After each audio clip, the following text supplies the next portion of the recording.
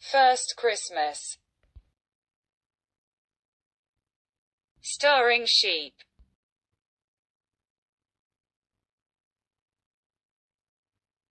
Today we are talking about the first day of Christmas.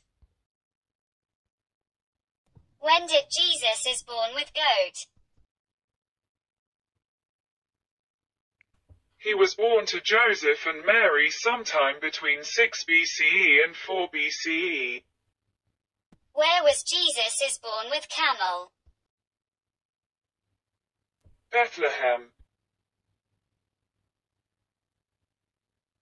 The two accounts agree that Jesus was born in Bethlehem, Judea, that his mother, Mary, was engaged to a man named Joseph, who was descended from King David and was not his biological father, and that his birth was caused by divine intervention. Bethlehem lies 10 kilometers south of the city of Jerusalem, in the fertile limestone hill country of the Holy Land. The place where the Church of the Nativity. Three wise kings with mouse.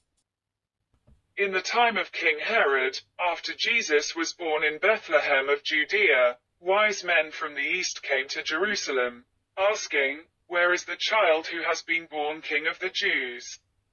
For we observed his star at its rising, and have come to pay him homage.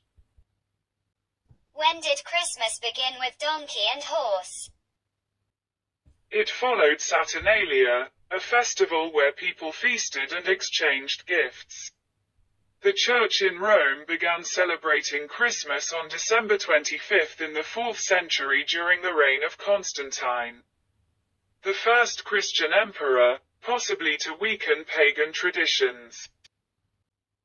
The Emperor Constantine established December 25th as the date when Christians celebrate Christ's birth. Thank you for watching.